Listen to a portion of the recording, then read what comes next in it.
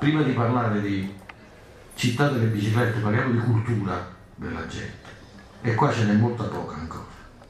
Noi, io sono dell'avviso che qualche volta dovremo toccare nella tasca le persone per farli abituare.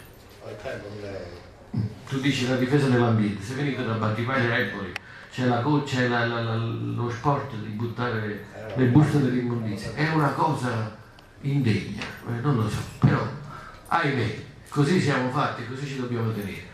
Picchiamoli nella tasca.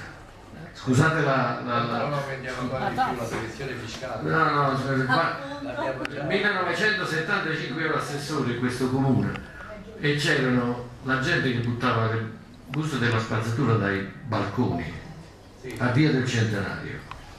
Facemmo qualche multa di 400.000 euro ai condomini, le buste non le hanno buttate più. Grazie ancora, scusate.